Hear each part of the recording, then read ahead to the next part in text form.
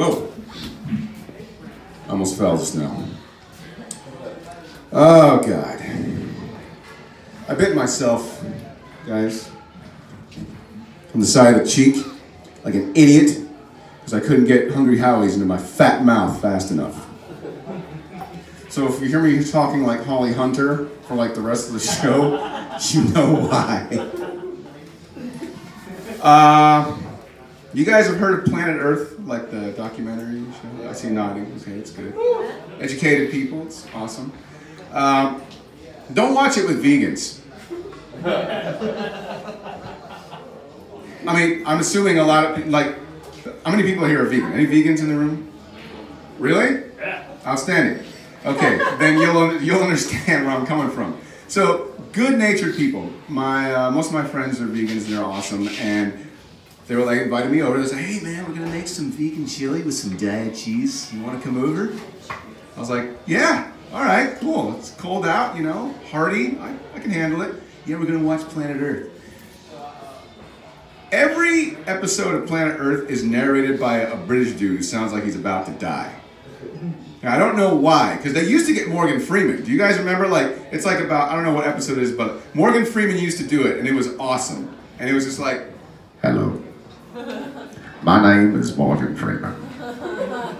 I'm here to tell you about penguins, and you'll thank me for it. And then it was like, well, they couldn't get him, and then they got Oprah to do like one. And she was like, you get a gazelle, and you get a gazelle, and you get a gazelle. Everyone gets wildebeests. And then it started getting slower, like down the celebrity ladder, where it's like it's like Seth Rogen showing up for some reason. He's like, "You guys uh, want to talk about uh, earthworms?"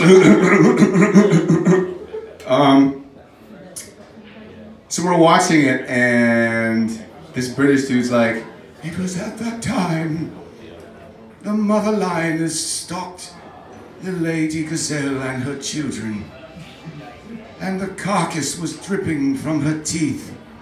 And then my friends were like, yeah, a fucking course, right?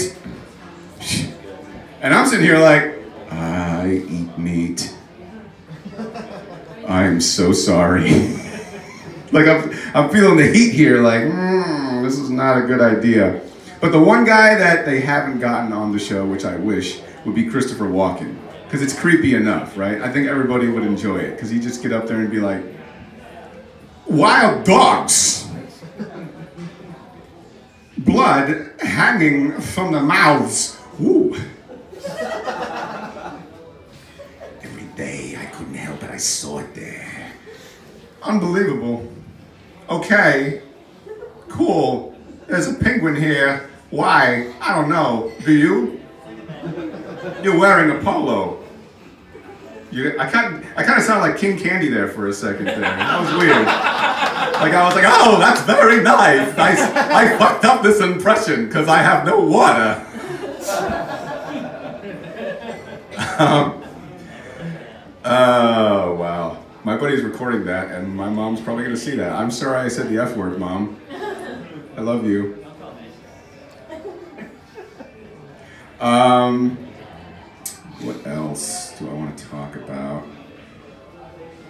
Covered vegans. Thank you for participating in that, by the way. Even if you're not, thank you. I just did it because my roommate wanted to save money. Did you? What now? My roommate wanted to save money, and we were just sitting there, and he was like, "Hey man, you're vegan." So stop, stop talking, sir. You're ruining my set. You're ruining my set. Oh, gross. Um, I'm just kidding. So, the one movie that I wish they would make that they haven't yet is another Expendables movie. I just want, I love those action movies. Those guys are great, the old action stars. I grew up watching them. But I'd like for them to take a more progressive route, you know? So, like, the movie for me would start out kind of like this, you know? In the city, two cops needed a miracle. They eat it back up. They eat it each other. Now, from the critically acclaimed director who brought you Lethal Weapon, Die Hard, and Finding Nemo comes Brokeback Mountain 2. Judgment Gay. Starring Arnold Schwarzenegger and Sylvester Stallone. More action, more excitement, and more grunting than you care to hear.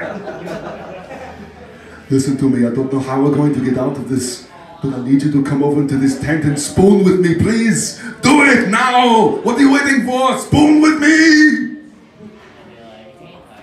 Hey, yo, you know, I don't know how to quit you. Ah!